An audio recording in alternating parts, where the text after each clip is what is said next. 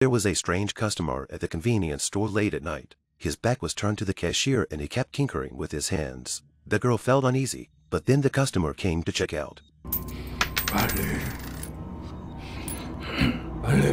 She carefully gave him the change. The customer is obviously not a normal person. The girl secretly pressed the alarm, but the customer suddenly lost control and grabbed her arm. He grabbed her arm and cut her arm with his sharp nails. He then took off his mask.